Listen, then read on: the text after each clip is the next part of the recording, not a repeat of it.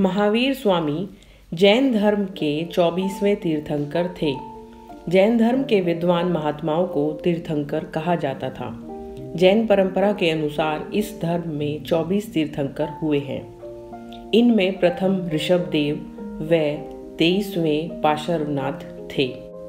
अब देखते हैं महावीर स्वामी का जन्म कहाँ हुआ। महावीर स्वामी जैन धर्म के संस्थापक नहीं थे। वरन इस धर्म के अंतिम व लोकप्रिय तीर्थंकर थे।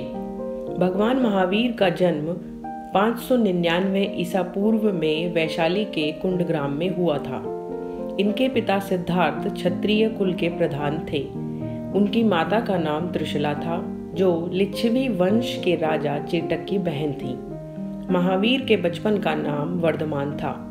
इनका आरंभिक जीवन अत्यंत सुखमय व्यतीत हुआ युवा अवस्था में इनका विवाह एक सुंदर कन्या यशोदा के साथ हुआ, जिससे उन्हें प्रिय दर्शना नामक पुत्री हुई। युवा अवस्था में इस कन्या का विवाह जमाली नामक युवक से हुआ, जो बाद में महावीर स्वामी के शिष्य बने। महावीर स्वामी का गृह त्याग। आरंभ में महावीर गृहस्थ जीवन व्यतीत कर रहे थे, परंतु सांसारिक जीवन से उन्हें आंतरिक शांति नहीं मिली।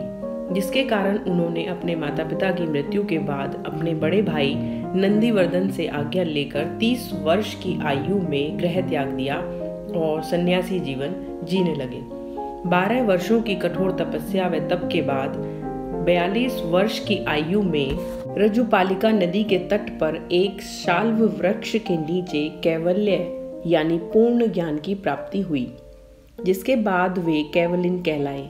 कैवल्य द्वारा उन्होंने सुख, दुख पर विजय अर्थात इंद्रियों पर विजय प्राप्त की। इसी कारण वे जिन, यानी विजेता कहलाए, तथा उनके अनुयायी जैन कहलाए गए। महावीर स्वामी का धर्म प्रसार।